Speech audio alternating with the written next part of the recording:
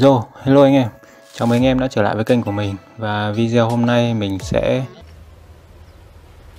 Wait a minute. Who are you? Và hôm nay chính thức mình đã quay trở lại Và hy vọng anh em còn nhớ đến mình Khi xem đến đoạn này và không đặt câu hỏi là Đây là thằng nào nhỉ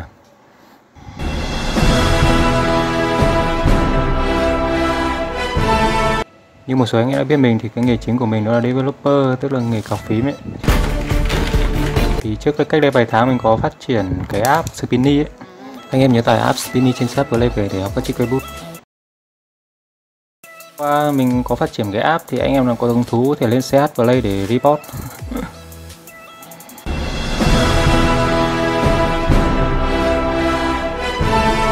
Câu trả lời mình nghĩ là không Trừ khi trong vài tháng vừa rồi các bạn gặp tai nạn bị què cụt gì đó Chứ còn mình nghĩ khả năng cây bút nó sẽ ăn vào máu các bạn vậy. Ví dụ như mình vẫn có thể làm được cái trích uh, ờ, Sonic này này.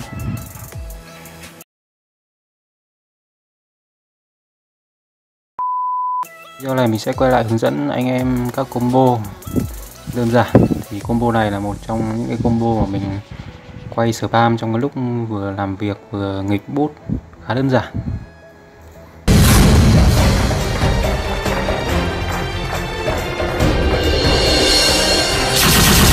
Ừ, đầu tiên là các bạn bật bút như này. Đó, bật bút như này. Sau đó thì từ từ solid ừ, quay lại. Đó, khá là dễ.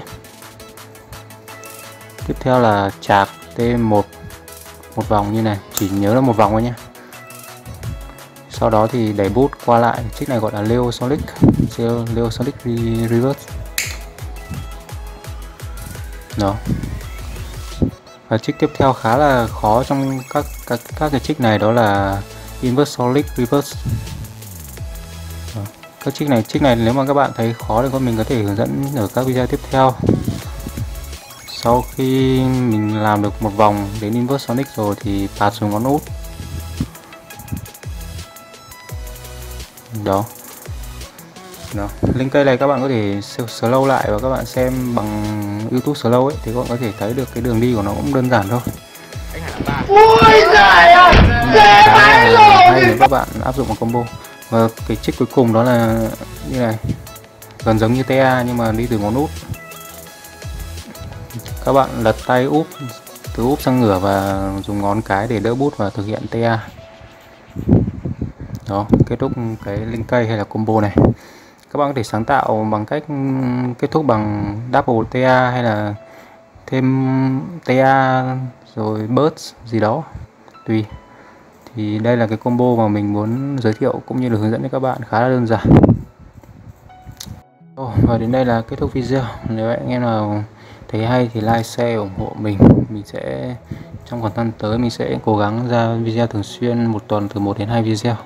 Và anh em tiếp tục ủng hộ mình trong khoảng thời gian sắp tới hẹn anh em ở các video tiếp theo Yo.